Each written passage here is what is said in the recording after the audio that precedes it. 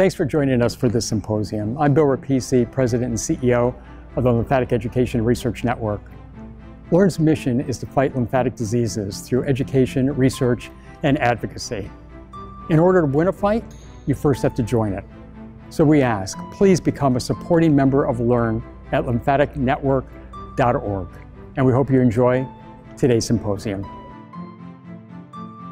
Good morning and afternoon and evening to um, everyone's connected. Um, I will start my my webinar on with the title of new concept in microsurgical treatment of lymphedema using ultrasound technology.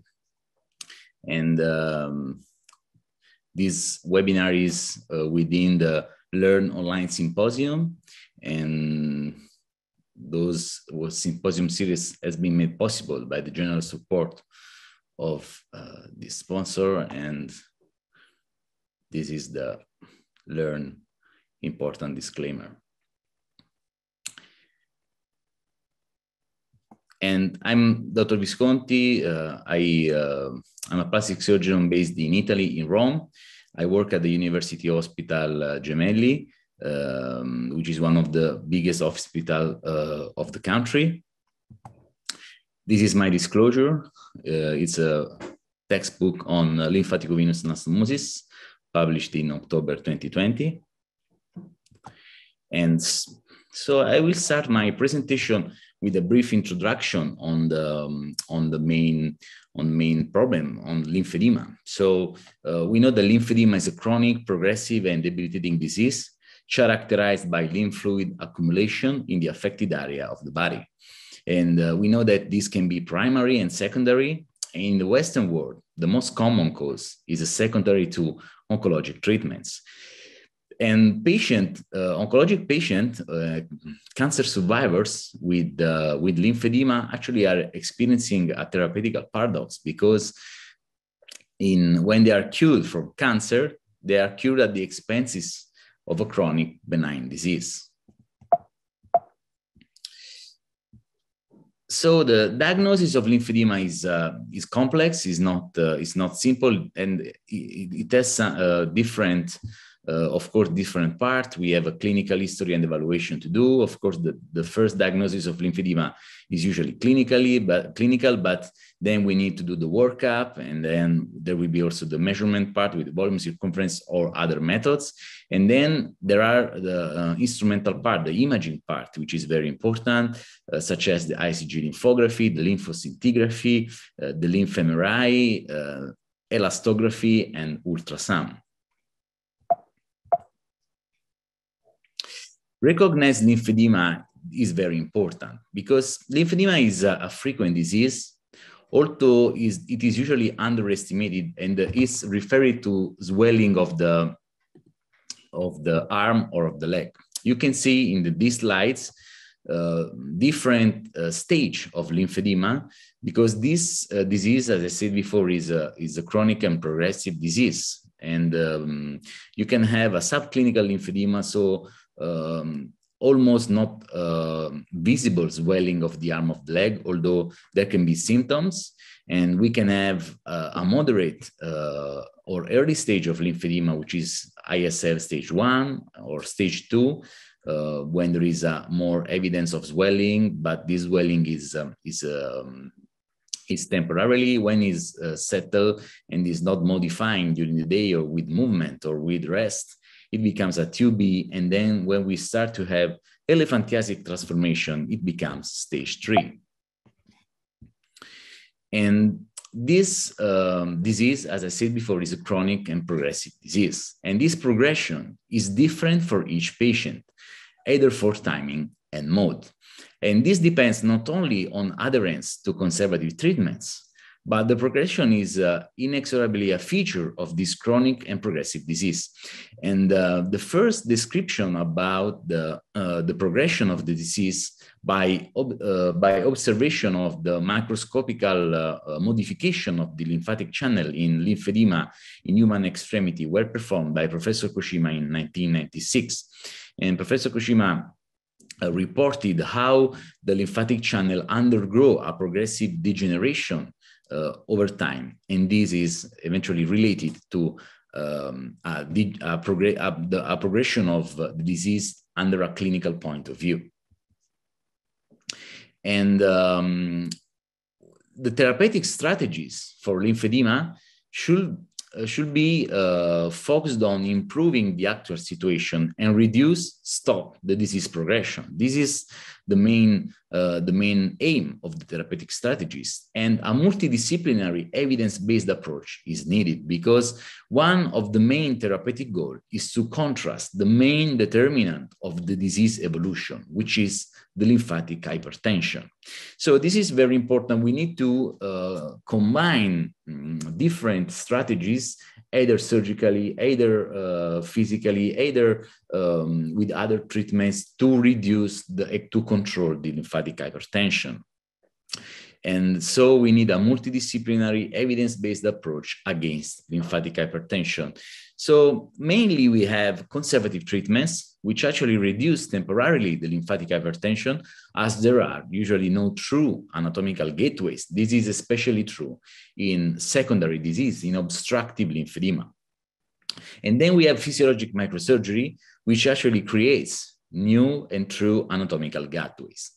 Those two main um, strategies are actually not one against the other, but they should be seen in conjunction. So is the combination of the most appropriate conservative treatment and physiologic microsurgery, which gives to the patient the best outcome possible and which allows to control at the best lymphatic hypertension.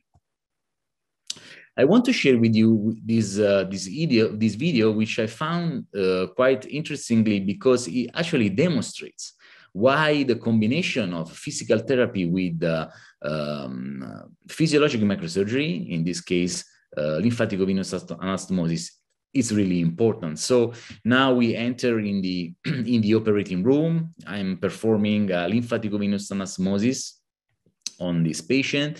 And you can see here um, I just uh, performed a lymphatic venous anastomosis in, in the leg of this lymphedematous patient. You can see at the screen. Now I'm turning the, uh, the screen into the, um, into the fluorescence mode so we can better see the fluid progression from lymphatic channel to the vein, which I anastomosed, and I apply a gentle pressure on the distal portion of my anastomosis. And you can see how the lymph is really pushed into the venous system.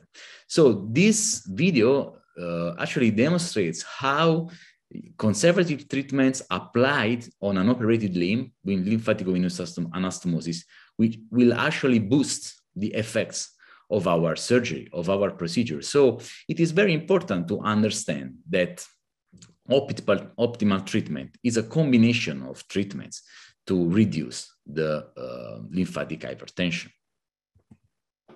So the multidisciplinary evidence-based approach should be always considered and not used only for advanced cases.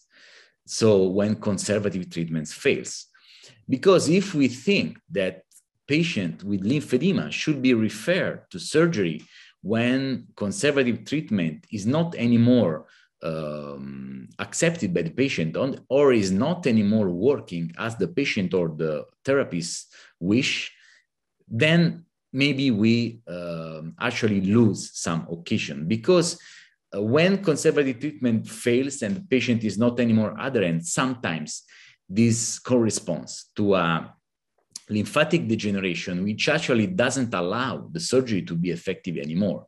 So we don't need to wait uh, time before considering surgery, we must, we should consider a combined multidisciplinary approach because waiting may means wasting unique opportunities.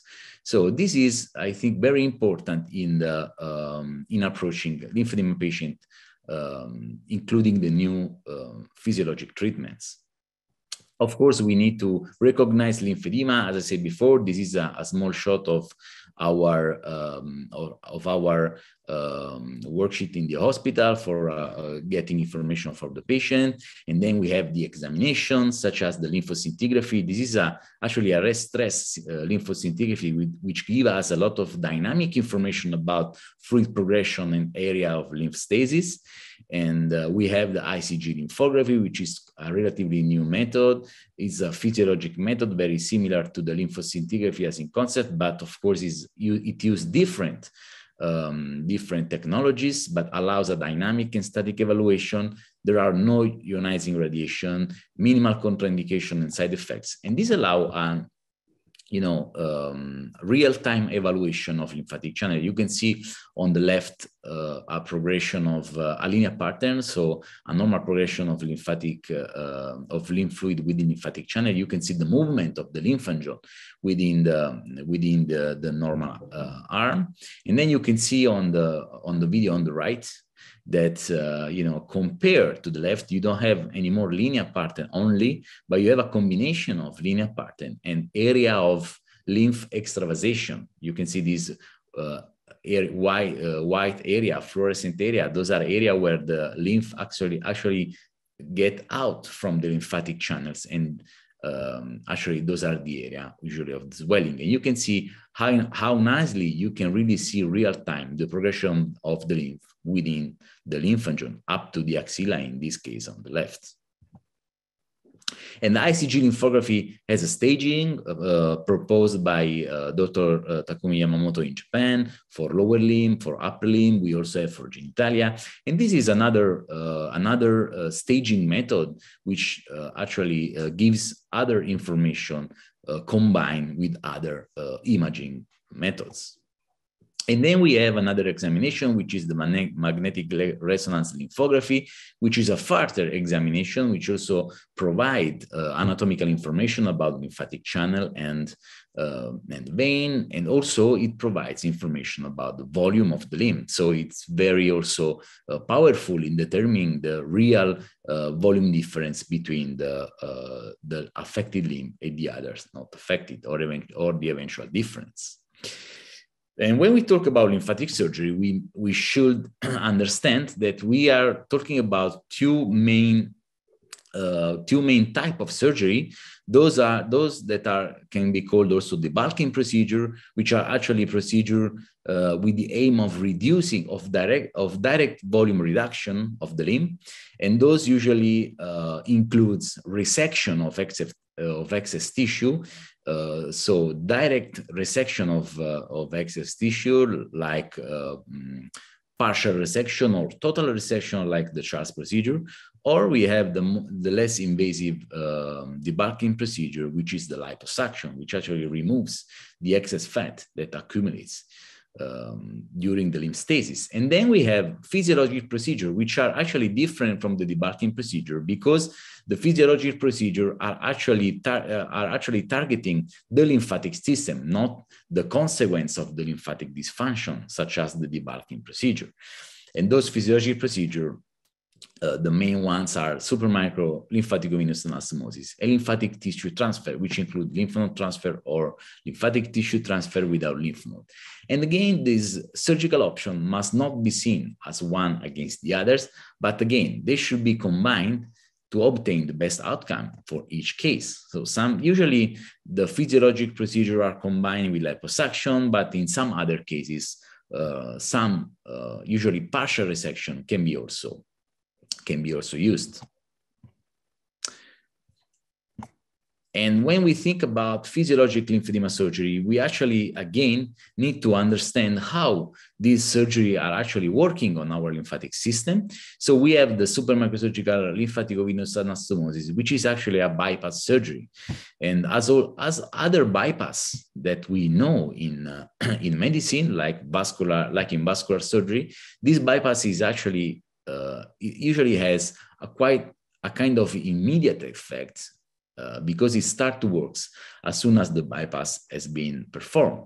And then we have the lymph node flaps or lymphatic channel transfer, which is actually a bypass through regeneration because the surgeon, um, when performing the lymphatic channel transfer or the lymph node flaps, is not actually performing a direct bypass in the in the lymphedematous limb, but is bringing uh, new lymphatic channel, working lymphatic channels, and lymph nodes eventually in the in the affected limb, and is preparing the limb to get uh, a bypass through the through the flaps. But this needs a regeneration progress, uh, process. It means that the lymphatic flaps must, uh, in, on, in, during time, connect with the lymphatic uh, system of the affected limb.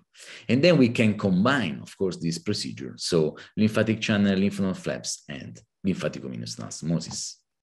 So this creates kind of brainstorm in lymphatic surgery because as we see during this presentation, first we have the staging, and this is just one kind of staging, which is the International Society of Lymphology staging, but there are different uh, type of staging as we see that can be based on imaging and they can be based on combined information. And then we also have the history of lymphedema. It's primary, secondary lymphedema, upper extremity lymphedema are different from lower extremity lymphedema, again, different from pubis area and genital, again, different from other sites such as breast or head and neck. Uh, so and then we have the unique information uh, for each patient that uh, the eventual imaging uh, gives to us, such as lymphoscintigraphy, ICG lymphography, eventual SPECT, uh, magnetic resonance lymphography.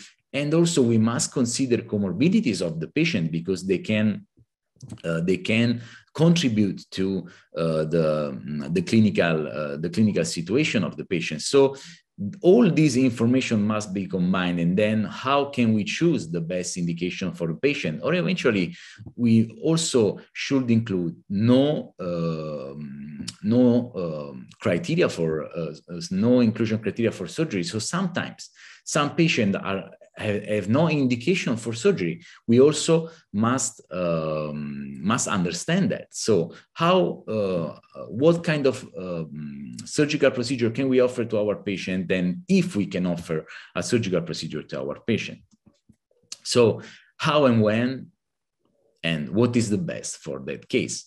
So in all this kind of information, we must analyze the single and unique feature of each patient. Lymphatic, uh, lymphatic system is very complex and lymphatic surgery, in my opinion, must be personalized for each uh, lymphedema patient because each lymphedema patient has his own uh, features, not only anatomically, not only pathologically, but also eventually with comorbidities. So when we talk about lymphatic venous we are talking about, I'm talking about the, the super microsurgical technique. It means uh, peripheral and central lymphatic anastomosis with intima to intima coaptation. This is a physiologic super microsurgical procedure. Is the uh, um, with this procedure, we are actually diverting the lymph flow toward the blood circulation. We know that lymphatic uh, system uh, is actually an open system with, which uh, uh, uh which finally drains into the venous system. So with the lymphatic venous anastomosis, we are actually anticipating uh, the diversion of lymph flow toward the blood circulation using peripheral vein. So the aim is to bypass lymphatic channel into subdermal venule. And why this is called super microsurgical procedure? Because uh, these include manipulation of uh, structure which has a caliber and a dimension which is below 0.8 millimeter. In the last 10 years, the surgical treatment of lymphedema has been revolutionized with the establishment of functional procedure that we talked before, and the microsurgical revolution corresponding to imaging evolution. And imaging and surgery in lymphedema are very strictly correlated more than any other field in microsurgery. Why? Because the knowledge of normal lymphatic anatomy is still not full and there's variability among subjects. And because pathological lymphatic anatomy, so the anatomy in the lymphedema patients, is even less clear and more variable we know that lymphatic venous anastomosis and or lymphatic flaps usually works well in early and moderate stage lymphedema because lymphatic channel can be visualized with conventional technologies. So it's, it's kind of uh, easier for the surgeon to plan the surgery and to uh, you know decide which kind of treatment should be offered to that patient. But contrast-based technologies such as lymphoscintigraphy, ICG lymphography, magnetic resonance um, lymphography are limited by the lymphosome concept. It means that when we inject the contrast to highlight the lymphatic system, we may have that we may find the situation when the injection point do not enlighten the channel, but this means that the injected point is not clearly connected to a functional lymphatic channel, but it does not mean that there are non-functional lymphatic channels.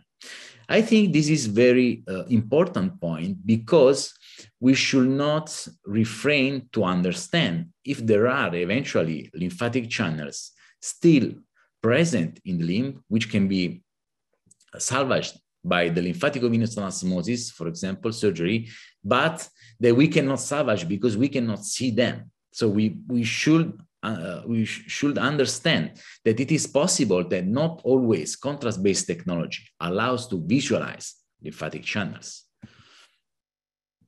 So how to manage the advanced stage lymphedema or cases that are not advanced but without clearly visible lymphatic channel at contrast-based examination.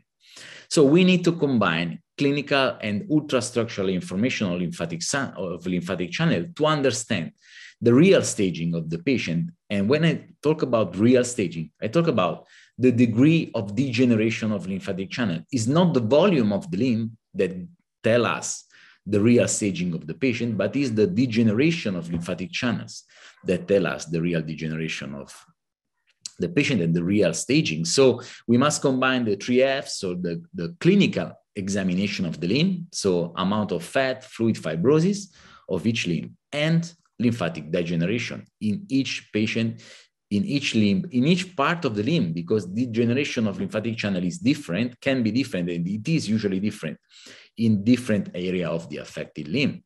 So how can, can we have both information with ultrasound? So successful results with LVA are possible when functional lymphatic channel are bypassed. And you can see in this video lymphatic pump before lymphatic venous anastomosis. This is a cut lymphatic channel, which is ectasis. And you can see the lymph flow in this lymphatic channel. And also when outlet recipient venule are used, after we establish a lymphatic venous anastomosis, we want to see that the lymph is cleared into the venous system. You can see the video on the right after lymphatic venous anastomosis, you can see the fluorescence within the vein. You see the flow into the vein. It, it means that our lymphatic venous anastomosis is really working. And this we want to see in our, in our patient. It means that the lymph is going out from the, from the limb. So we are really reducing lymphatic hypertension. So why ultrasound changed my practice? I believe that ultrasound is the key, is the quintessence in lymphatic surgery. And you can see we, we published the first application of ultrasound assisted lymphatic anastomosis for the treatment of peripheral lymphedema in 2017 with my uh, dear colleague and friends from Japan, uh, Dr. Uh, Akitatsu Hayashi and Dr uh, Yamamoto, and you can see why the ultrasound is the key. This is an imaging of uh, median nerve. You can see the high frequency ultrasound, 15 megahertz, can show you the median nerve very clearly, but when you use ultra high frequency ultrasound, such as the 70 megahertz, you can count the fascicle of the median nerve. It means that you have imaging that are comparable to histology. And this is, of course, a new word for uh, lymphedema surgery. So I started using the ultrasound after I came back from my experience in Japan, and then we started to use uh, the ultra frequency ultrasounds in 2016 in my in my hospital, and the first uh, the pioneer of ultrasound visualization of lymphatic vessel in the world like is my dear friend uh, Dr. Hayashi. So with ultrasound, we can visualize tiny anatomy not visible with conventional ultrasound. And the magic of ultra high frequency ultrasound is visualize very tiny structures such as lymphatic channel and perforator because the 70 megahertz probe allow you to give a, a focal resolution of 30 micrometer and the 48 a focal resolution of 50 micrometer and it expand knowledge of the very superficial anatomy.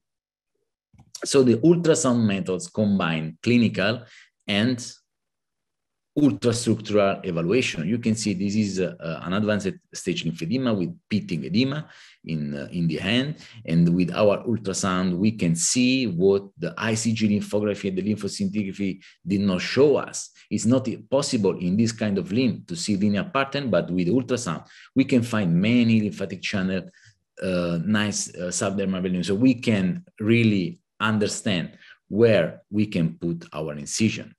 And you can see comparison between right and left limb. The ultrasound methods combine clinical and histological information. This is a very important point. We published this study very recently in 2020 on the JPRAS, and uh, we found that the imaging that we get with the ultra high frequency ultrasound is actually comparable to histologic evaluation of the lymphatic channel. So ultrasound allows a comprehensive and clinical definition of lymphedema severity before surgery because uh, it allows to understand the lymphatic degeneration, the amount of fluid, fibrosis, and fat. So it really gives all the instruments uh, to really uh, perform a good surgical selection of the patient and allow to select surgery and eventually predict LVA efficacy because it allows to understand the real degeneration status of our lymphatic channels. And we know that if we are performing surgical procedure, no matter if this is LVA or lymph node transfer or lymphatic tissue transfer, in a severely damaged, uh, uh, in a patient with severely damaged lymphatic channel, we will have a very minimal therapeutic effects. And this is important. The trend is changing because LVA are effective also for advanced stage lymphedema. This is uh, the first publication for uh, Dr. Uh, Johnson Yang from Taiwan, and this is from Dr. JP Young, and our publication is coming soon. The key is the ability to find lymphatic channel also when conventional technique cannot.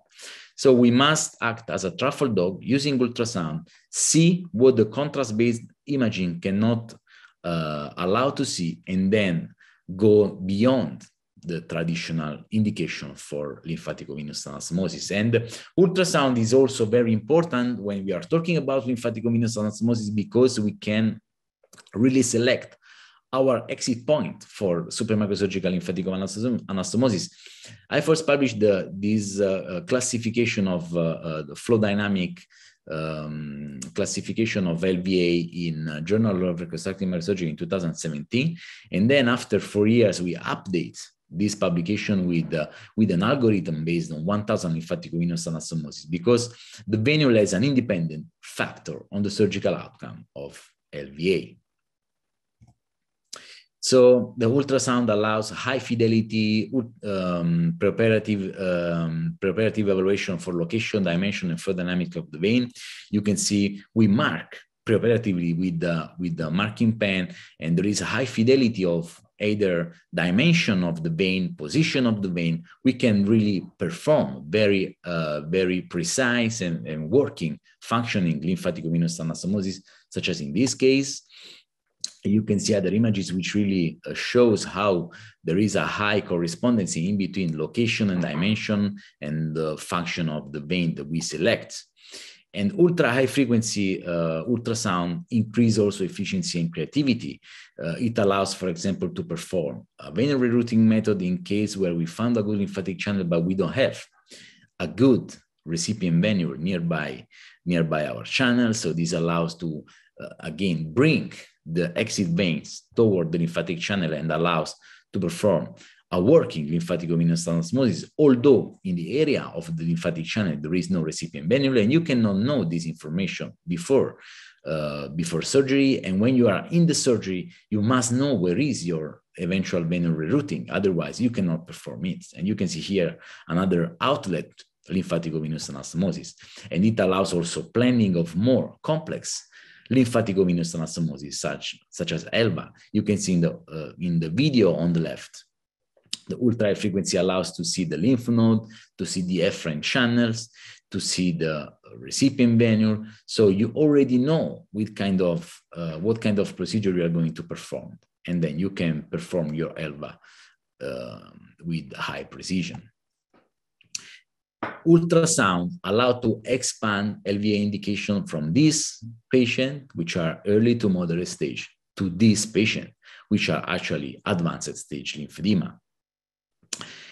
And effective LVA usually gives immediate impressive result, already visible on the operating table and working more and more over the weeks because this bypass start to work right after. You can see 12 hours after surgery, I can pinch very clearly the skin. There is a reduction of lymph stasis. The, the lymph is reducing in, uh, um, in uh, uh, lymph stasis. You can see here, how, how, can I pinch the skin of the, of the, um, of the patients. And again, another case, uh, after 12 hours after surgery, you can see deflation of the lymph accumulation. And in the, you know, in the left, you see the, the patient before and after uh, one year, but again, results are already um, are already visible after after surgery, sometimes even on the operating table. It expands LVA indication also to this kind of patient. And this patient did uh, actually did not want uh, a complete liposuction, but he can undergo liposuction to further reduce, you know, the fat accumulation. But only LVA reduces the amount of, of fluid accumulation. And those are other cases. Two year postoperative, you can see um, deflation of the of the right upper limb in a case of uh, uh, secondary upper limb lymphedema after breast cancer uh, breast cancer treatments and with a 48% volume reduction and stable results. Another case, this is a secondary, secondary lymphedema after necrotizing, necrotizing fasciitis, uh, who has a complete resolution, resolution of complete regression of lymphedema because it was not an obstructive lymphedema, but related to, uh, to surgery and first trauma and then surgery. And then another case, you can see this patient has also quite a lot of fat accumulation, but only the lymphatic surgery allowed to have a reduction of volume of 44% with small incision.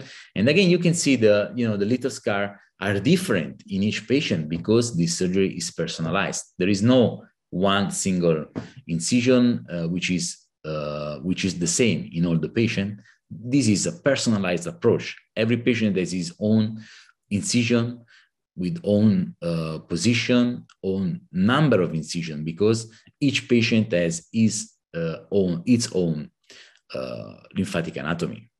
Another case, a male after uh, uh, axillary lymph node dissection for melanoma of the shoulder, and you can see 74% volume reduction after two years. Again, with a personalized approach using ultra high frequency ultrasound to localize lymphatic channel uh, very precisely and another patient with the uh, lower limb lymphedema of the right limb after 10 months with a 51% volume reduction. And uh, again, um, good response to this, this procedure. And also for some primary cases, like this patient with a 55 volume reduction, lymphedema since um, the age of uh, uh, a very small age, so around 12 years old. So he suffered lymphedema for 35 years and um, with uh, one episode of, with more than one episode of uh, um, of lymphangitis, and he respond very well to lymphatic-venous anastomosis. And again, another patient, a combination of lymph node sampling and knee trauma with recurrent uh, lymphangitis, also with a good response to lymphatic-venous anastomosis. And again, another primary case, these patients um, two years after surgery with a 76% uh, of volume reduction. Uh, again, uh, very important reduction of, uh, of the volume, but also amelioration of skin quality and, uh, and in general quality of life. And ultrasound is not only important in uh, supermicrosurgical lymphatic venous anastomosis, but is important also in lymphatic tissue transfer when we are doing uh, lymph node flap or lymphatic channel flaps, we are actually performing uh, a bypass through regeneration. It means that we are not controlling the bypass, such as in lymphatic venous anastomosis, where we are actually performing the bypass, but we are bringing new vital lymphatic tissue within a compromised limb uh, for lymphatic tissue with the aim to reduce lymph stasis by introducing a new draining station through regeneration because we need lymphagenesis over time to allow the new draining station to be connected to the affected limb, so to drain the affected limb. So the regeneration is provided by the flap itself. Lymph node flap has a, has a, a relatively short history. Same things apply to lymphatic venous anastomosis. So different pioneers in, uh, uh, in lymph node flaps. And common, common technical point are those flap are compound flap. It means the lymphatic tissue and lymph nodes are with their adipocutaneous component. We have a limited dissection and freedom compared to other microsurgical flap because we don't want to interrupt lymphatic tissue and connection with lymph nodes. So we need to preserve eventual natural lymphovenous connection and preserve natural lymphatic connection, of course. So continuity of the channels and connection to lymph nodes. So in those flap, it's very important to have a precise knowledge of microvascular lymphatic anatomy. And for lymph node flap or, or LIST flap, I use ICG, CT scan, and ultrasound. And for lymphatic tissue flap, I use ICG and ultrasound. We know that lymph node flaps can be uh, cutaneous lymph node flaps, such as in these cases, inguinal base, supraclavicular, lateral thoracic flaps, but we also have visceral lymph node flaps, such as omentum flap or uh, uh, mesenteric flap. There are still many open questions about uh, lymph node flaps, and um, this is a case example of a, um, a, lateral thoracic lymphatic flap with skin monitor inserted according to lymphatic concept described by Dr. Yamamoto. This is very important, and you can see the patient has at two years follow up uh, with uh, with good improvement. So in these cases, it's very important to understand the microvascular features and lymphatic features of the flap. Otherwise, we cannot design correctly the flaps.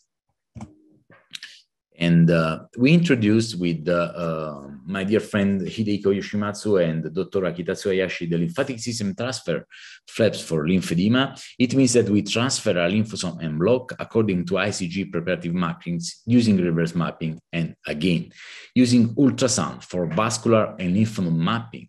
And we inset again according to lymph axiality concept. So we harvest in this case is the the uh, the groin uh, LIST flaps, and then you can see intraoperatively in green lymphography showing uh, the the the lymph the entire lymphosome harvested on the on the um, superficial circumflex uh, circumflex vessel. You can see lymphatic channels going down, getting another lymphatic channel converging within a lymph node, you can see now there is the lymph node and there is another more superficial lymph node already included in the flaps and our pedicle is just below.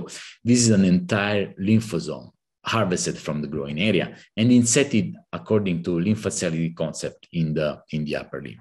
And why ultrasound is important in lymph node flap? Because it allows to clarify all the microanatomy.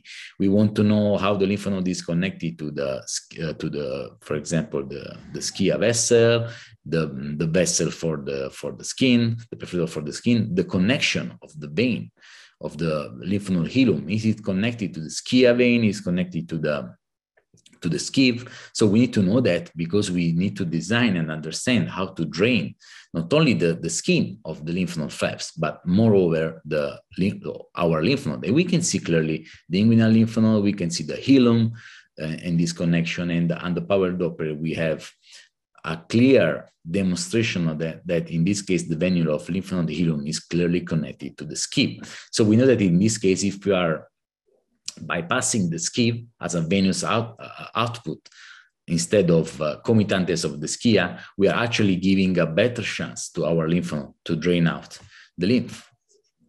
And you see some example of uh, uh Doppler planning and uh, design, including ICG and insetting accordingly according to the lymph axiality concept. Again, the ultrasound is really important to design and have all this design on the skin. And any perforator flaps, according to its lymph axiality, can be used as a lymphatic flaps and ultrasound guiding choosing the plane of elevation by precise microvascular anatomical information. And we published that in Archives of Plastic Surgery in 2020. So in conclusion, the microsurgical treatment of lymphedema is an, is an established treatment. The knowledge of lymphedema is still low. Preoperative planning is crucial.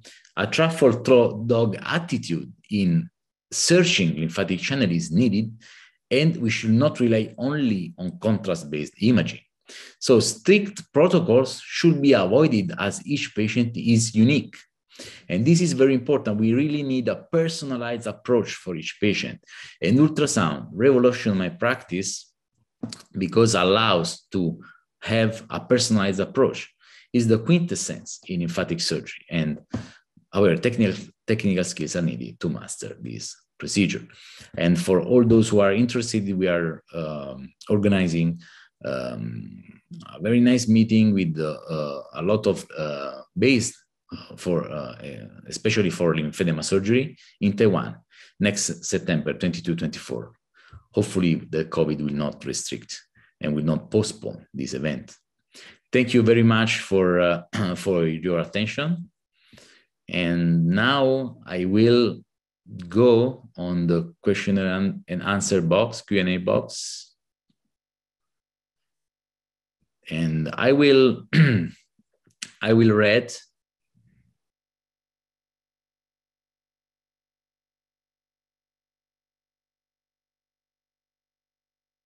So elastography, uh, so um, is unfamiliar to me. What is it, please? Uh, and what is the lymphedema prevalence in Italy, estimated figure? So elastography is a type of uh, um, if a type of technology that can be um, can be included in the ultrasound evaluation. So it is a modality of ultrasound that allows to understand the um, elasticity of the tissue. And it has been used in the past to understand and to grade also the severity of lymphedema. And lymphedema prevalence in Italy, uh, I can say is actually around 40,000 new cases a year. Uh, so it's, uh, of course, this, this uh, number includes primary and secondary lymphedema for each kind of etiology. So when someone is diagnosed as primary lymphedema, and they seem like they are in stage two as the fluids only diffuses in the ICG, should the patient undergo liposuction to be able to do LVA or transfer? So this question is uh, includes many many points. So um, as I said before, staging of lymphedema must not be connected to the volume of the limb. It should be connected to the actual lymphatic degeneration because the volume of the limb can be connected, for example, just for a recent lymphangitis, actually double or triple the volume of the limb, but this is not the real volume. So there are there can be many factors uh, that can determine the uh, volume of limb or uh, not well performed conservative treatment. So I think before considering uh, the type of procedure to perform, the lymphatic anatomy, the pathologic lymphatic anatomy must be clarified. Uh, and then based on that, we can decide how to move within the, uh, within the surgical options. So with the ultimate goal of reducing lymphatic hypertension, do you think it would be valuable to also image the lymphatic of the trunk, especially in those patients who had surgery to the trunk? Increasing the risk of injury to the central lymphatic, I would think this would be necessary. This is uh, for sure an interesting question.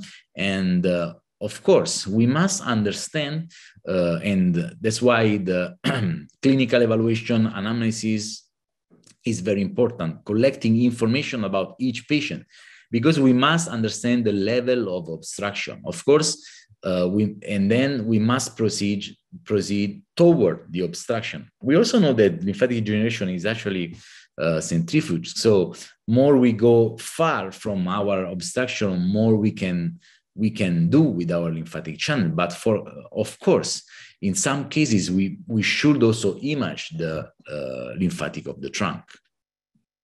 So this is also um, a very important observation. I thanks um, for for for giving that. So it's a you mentioned that post-cancer patient makes up the majority of lymphedema patient in the Western world. Recent prevalence results from the International LIMPRINT study indicate that morbid obesity is the highest risk factor. What is your experience with obese patient?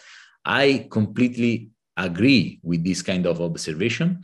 Of course, at least in uh, in uh, in Italy, the according to um, to recent uh, uh, prevalence study, uh, oncologic oncologic patients are the most affected by by lymphedema, but of course it's not a matter of uh, which is first and which is second. As you said it's very important. The morbid obesity is one of the highest risk factor. I completely agree with that. There are publication uh, on important journals um, that demonstrates that uh, morbid obesity is a risk factor for lymphedema. And uh, my experience with obese patient uh, is uh, is the same. We usually have i sometimes see morbid obese patients which are actually referring to my outpatient clinic uh, searching for uh, surgery to improve the swelling of the limb. And uh, in these cases of course the reply is first control obesity because this is the main risk factor and the cause of lymphedema. So this is very important point i thank for your question because we always uh, must uh, understand and remember that also other factors such as obesity is not only a risk factor but in some cases can be the unique uh, factor which actually bring the lymphedema so the patient are, um, are still wearing compression after surgery LVA. So this is again, um, uh, thank you for your question. Of course, this is a generic question as I said before, we cannot use, we cannot uh, make, you know, general conclusion. Um, lymphatic macroanatomy is different from each patient. The staging is different. The type of surgery we can do is different. So each patient will, will undergo uh, uh, an evaluation in a strict evaluation in the postoperative time. So we see how, uh, so based on how many LVA, which kind of LVA we, we did perform, we can guide the patient in the eventual postoperative compression. Some patients, as you see in the picture before, stop wearing compression at all. They are not either upper limb or lower limb. Some other may need compression, sometimes in, in some moment of the, of the weeks or of the year. Uh, so this, is, this must be personalized for each patient. So do you prefer liposuction before microscopic surgery?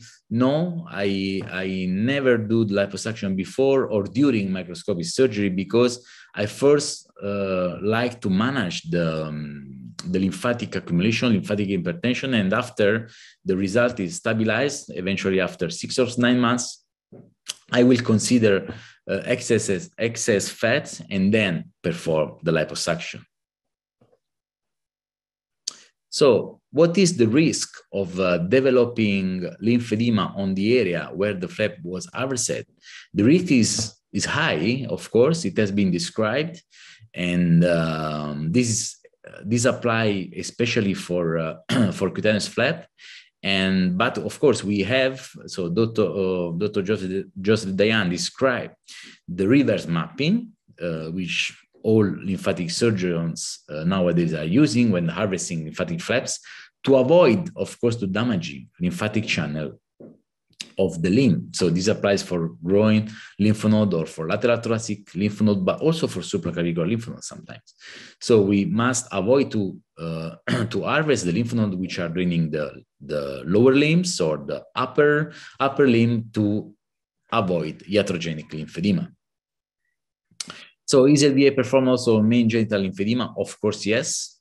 It's also effective? And another question is, do you consider ICG lymphography to be sufficient enough for conducting LVAs? Uh, so I, um, as I say in the presentation, I believe that ultrasound is the real quintessence. So uh, of course, in some cases, ICG can be enough, but uh, uh, I believe that uh, if possible, combination of procedure gives much more information. Do patients have to travel to Italy only? I live in the US. So, uh, of course, uh, Italy is a very nice country and uh, we welcome all the patients, but also in the US, of course, you find very, uh, very experienced colleague that can perform this procedure. So how do we find centers of excellence that can provide advanced ultrasound guided evaluation? So this is also an interesting uh, question. We may, um, of course, is not complicated on the, uh, you know, uh, seeing within the center of excellence, the centers which are performing ultra frequency, but this can be this can be eventually included in the information for the, in the center of excellence. So for a patient with new onset lymphedema, post-mastectomy, and lymph node dissection, how much time would you wait for improvement with conservative therapy before proceeding to surgery? So very interesting question again. So I think that, again, these questions is, is uh, I think, a little bit uh, related to some kind of old uh, thinking about treatment of lymphedema. So conservative therapy and surgery are not one against the other or one the opposite of the other. They must work together. So if there is an obstructive lymphedema, of course, there can be edema after after surgery. We are, but we are talking about uh, you know real lymphedema, not uh, post-operative uh, edema. And uh, after the, the, the, treatments are, uh, are finished and there is a, um, you know, a diagnosis of lymphedema, physiotherapist and microsurgeon must talk together.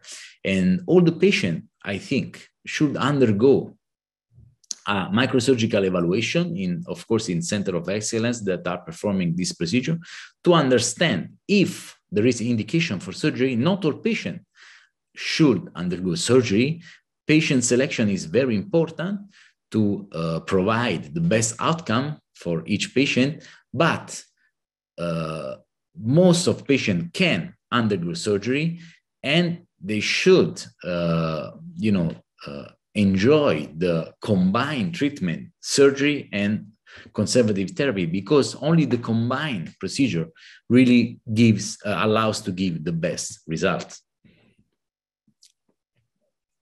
So are these techniques option in the head and neck or torso? It seems most physiological lymphedema surgery are performed in limbs. Thank you for your question. Yes, of course. Uh, limbs, of course, are among the most you know common areas of lymphedema, but those techniques are already applied in other area, such as head and neck, such as breast, such as genitalia. So yes, the reply is yes. Thank you, LE&RN and Dr. Visconti for interesting presentation from the Cradle of Lymphology, Saluti uh, Dottava, and I send my regards to Canadian, Canadian colleagues. So I think I went over uh, your question. I didn't mention all of them, but I tried to mention uh, those were, uh, you know, very uh, kind of similar to each other. And uh, I hope you uh, enjoyed this, uh, this, this webinar. And I would like to thank again LE&RN for the great opportunity and for all the efforts they are performing every day worldwide for uh, spreading the culture of uh, uh, lymphatic disease and lymphedema treatment and to help more and more patients to, uh, to get the best treatment possible. Thank you again for giving me this space, and I hope to see you in the future, either virtually or live. Goodbye.